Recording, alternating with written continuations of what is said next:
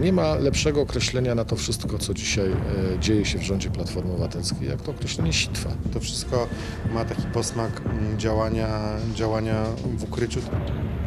Czyli nowe nagrania ujawnione przez tygodnik wprost, a na nich kolejne polityczne deale polityków partii rządzącej. Dlaczego nie staną między nimi i nie powiedział przepraszam? Proszę nie strzelać. Żołnierze robili wszystko i oficerowie polscy robili wszystko, żeby zminimalizować straty. I w toku procesu zostało to potwierdzone. Stanisław Kociołek został prawomocnie uniewinniony w sprawie grudnia 70, a dwaj byli żołnierze zawodowi skazani na kary w zawieszeniu. Została bardzo brutalnie spacyfikowana, uderzo, e, uderzona, przewrócona na stół. Czyli agresywne zachowania organizatorów odczytu scenariusza Golgota Piknik względem protestujących. Poniedziałek, 30 czerwca, Łukasz Sobolewski. Witam i zapraszam na wiadomości Telewizji Republika. Za niecałe dwa tygodnie zostanie złożona propozycja, aby wokół Prawa i Sprawiedliwości zjednoczyć ugrupowania konserwatywne, prawicowe, które chcą zmian władzy w Polsce. Formuła będzie otwarta. Nie będziemy nikogo wskazywać, poinformował szef klubu PiS Mariusz Błaszczak. Tymczasem wyborcy reagują na aferę taśmową. Według sondażu przeprowadzonego przez Homo Homini dla Rzeczpospolitej, gdyby wybory odbyły się dziś, zdecydowanie zwyciężyłaby partia Jarosława Kaczyńskiego. Materiał Bartłomieja Maślankiewicza. Zjednoczona Prawica może wygrać wybory i rządzić. Z najnowszego sondażu Homo Homini dla Rzeczpospolitej wynika, że Prawo i Sprawiedliwość ma 32% poparcia, Platforma Obywatelska 24%, a trzecią siłą w parlamencie, gdyby wybory odbyły się teraz, zostałaby nowa prawica Janusza Korwin-Mikkego. W Sejmie, oprócz trzech wymienionych partii, znalazłoby się jeszcze SLD z 10% poparciem i PSL z 5%. Nie, nie, nie. O koalicji z Korwin-Mikkem na razie nie chce słyszeć PiS. Dywagacje. Po pierwsze, poglądy, które głosi Korwin-Mikke są no, kosmiczne, jeżeli chodzi o rzeczywistość, porównanie ich z rzeczywistością, a po drugie, mm, koalicję tworzy się po wyborach. PiS nie ma szans na władzę bez nas w tej chwili. Z drugiej strony politycznej barykady nikt nie mówi nie. Sam szef partii ma w Sejmie tylko jednego posła. Zaakceptowałby nawet koalicję z Jarosławem Kaczyńskim, ale jak dopowiadają jego współpracownicy, zachodzeni sondażem są pewne warunki. Jeżeli e, targ będzie na tej zasadzie, że słucha- ze strony PiSu, słuchajcie panowie, no nie róbmy tego waszego programu, ale weźcie trzy ministerstwa, to po prostu powiemy, że nie, bo nas to w ogóle nie interesuje. Partia Janusza Korwin-Mikkego proponuje likwidowanie ministerstw, na razie bez wyraźnego wskazania jak. A zdaniem wielu ekspertów, PiS, jeśli zdecyduje się na współpracę z nową prawicą, powinien właśnie podzielić się władzą i odpowiedzialnością. Janusz Korwin-Mikke powinien być wicepremierem i powinien wziąć, wziąć współodpowiedzialność za rządy i za, za Polskę. No bo łatwo jest krzyczeć, e, że wszyscy są źli, natomiast e, znacznie trudniej jest rządzić. Platforma Obywatelska, mimo że osłabiona aferami, to porozumienia na prawicy się nie boi. Jestem przekonany, że skoro prezes Kaczyński kiedyś zdecydował się budować koalicję z samoobroną, więc jest gotowy budować z każdą koalicję, także z nową prawicą Janusza Korwin-Mikkego. PiS już miał takie doświadczenie koalicji z takimi partiami jak Samoobrona, Liga Polskich Rodzin, które były świeże i też były takie kon, kon, kontestacyjne e, i dobrze na tym nie wyszedł. Ale dobrze nie wyszły na tym też wspomniane partie, co potencjalnym przyszłym koalicjantom daje do myślenia. Dotąd było zawsze tak, że ktokolwiek dogadał się z Kaczyńskim, został potem przez niego zniszczony. E, To samo zresztą robi Tusk. E, Udaje na początku przyjaznego, często oferuje nawet jakieś stanowisko, po czym przemieli i wyrzuci na śmietnik. Będzie propozycja. Może z powodu tej nieufności PiS nie liczy na nową prawicę i zwróci się do starej gwardii. W połowie lipca prezes Kaczyński ma ogłosić plan zjednoczenia ugrupowań prawicowych. Swoją ofertę m.in. wspólny klub parlamentarny i wspólne listy w kolejnych wyborach kieruje do partii, które nie dostały się do Europarlamentu. Gdyż mm, głosy oddane na te partie zostały po prostu zmarnowane. Z e, tego rezultatu cieszy się e, Donald Tusk, e, a uważamy, że naszym podstawowym zadaniem jest odsunięcie od władzy premiera Tuska. Ale powrót do PiS, Zbigniewa Ziobry czy Jacka Kurskiego, mocno skonfliktowanych z Jarosławem Kaczyńskim, nie wydaje się możliwy. Chociaż jak mówią doświadczeni parlamentarzyści, wszystko jest możliwe. Ja już widziałem w polityce wodę z ogniem, kisiel z klejem, herbatę e, z kawą, dorsza z rodzynkami, więc mnie tego rodzaju melanże nie dziwią rzecz w tym, co później z tego wychodzi, często biegunka. Pozostaje więc pytanie, co PiSowi nie zaszkodzi.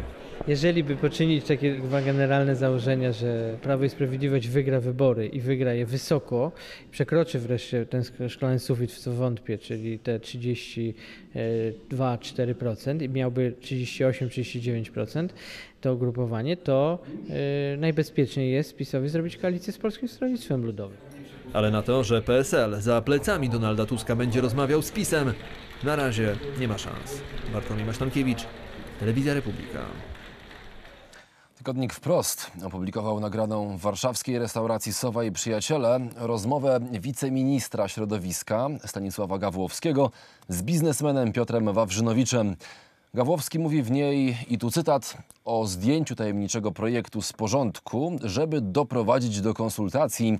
Rozmowa ta następuje chwilę po tym, jak Wawrzynowicza opuszcza inny biznesmen, określony przez tygodnik mianem prezesa. Kolejna odsłona politycznych deali przy restauracyjnym stoliku w materiale Karoliny Tomaszewicz.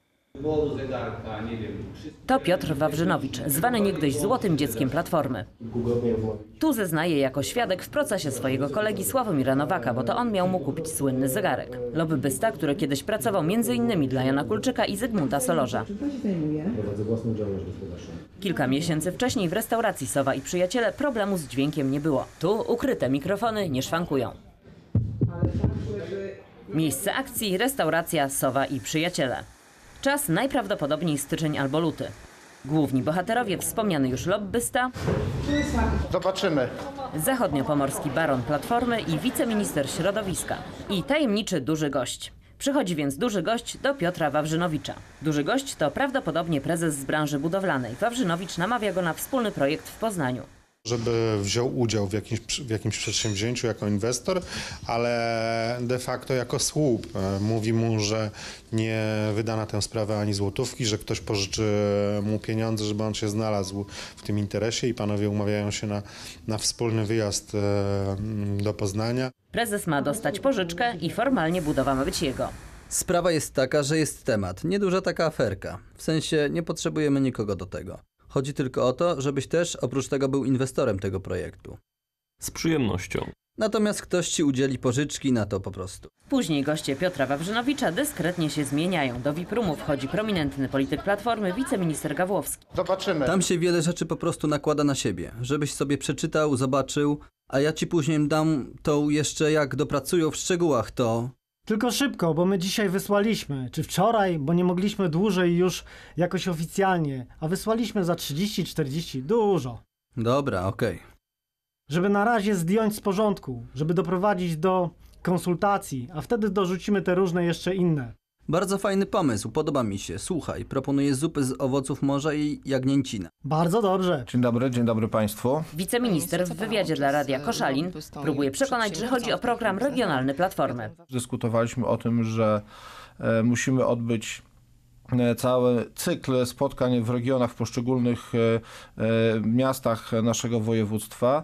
E, Ja też chciałem je e, przeprowadzać ankietę, ale koszty, które e, były związane Ale do z czego był panu potrzebny Piotr Wawrzynowicz? do konsultacji w tych sprawach. Dostaje e, z tego fragmentu wynika e, Gawłowski od Wawrzynowicza, który jest lobbystą, jakiś, jakiś dokument e, i mówi, że, e, że, że potrzebuje e, szybciej tej opinii, bo wtedy zdejmie, zdejmie jakąś rzecz z porządku obrad. Nie wiem, czy to dotyczy zjazdu regionalnego Platformy Obywatelskiej. Byłaby to, byłaby to dość dziwna, zaskakująca e, sytuacja. Program regionalny Platformy jest najwyraźniej tak tajemniczą sprawą, że rozmówcy zachowują pełną dyskrecję. No widzisz, bardzo dobrze, ja mam czas. Dzisiaj się nie spieszę, myśmy sobie spokojnie stać, zjemy. Rozchodzimy się w grupach. W podgrupach. Ty wyjdź pierwszy, ja wyjdę drugi i wszystko normalne. Każdy inteligentny człowiek wie, że to jest żart. Oczywiście to jest tylko kategoria takiego sobie pokazania. Sytuacja w regionie nie jest ostatnio dla wiceministra Gawłowskiego wesoła. Dwa tygodnie temu ABW rozbiła w zachodniopomorskiem tzw. mafię melioracyjną.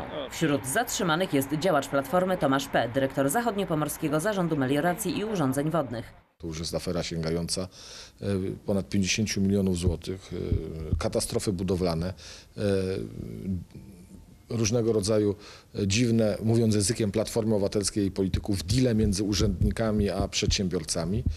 No i w tym wszystkim pan minister Gawłowski jako, jako zachodniopomorski baron, jako osoba kontrolująca, zresztą kiedyś nawet chwalił się na ulotkach, że z osobą w pełni kontrolującą większość samorządu w województwie zachodniopomorskim, e, rozmawia z tym cudownym dziecięciem Platformy Obywatelskiej. Posłowie Platformy mówią o braku etyki. Jednak wcale nie chodzi im o ich wiceministra. Publikowanie prywatnych rozmów e, ludzi, niezależnie czy są politykami, czy są biznesmenami, czy, e, czy też czy zajmują się innymi, innymi zawodami, jest e, głęboko nieetyczne. Nie chciałbym tego komentować. Nie chciałby tego chyba też komentować sam Wawrzynowicz. Dziś miał wyłączony telefon. To on zapłacił rachunek, zapłacił gotówką, a nie kartą, żeby nie zostawić śladów. Te jednak zostały. Karolina Tomaszewicz, Telewizja Republika.